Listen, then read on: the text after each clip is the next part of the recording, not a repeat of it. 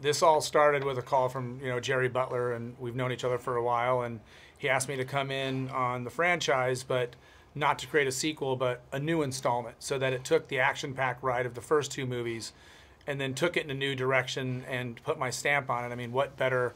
Um, what better vehicle than you get than that? That you can actually bring your wares to the table and hopefully not screw it up.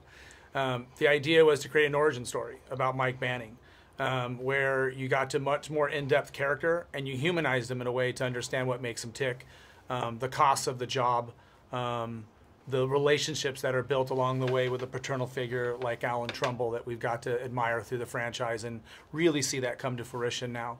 Um, and in a, in a very paternal way, but also to meet the estranged father, um, the complexities of home life. Um, and so for me, where my background in stunts comes from, um, everybody's asked me what it was like um, to be in those situations. So I try to bring that to the table in the action, to bring the audience within the ride and make them a participant on what's going on versus just being voyeurs and watching something on a screen. So that the action's not mindless, but you're attached to it in an emotional way um, and in a physical way, so to speak. And how you do that is you put the actors in it as well. And so the, to have their trust of um, um, for better or for worse, but to have their trust to put them within these environments, you're suddenly not just watching action for the sake of action. You're embedded in, an emotional attachment to what they're going through and, and rooting for them along the way.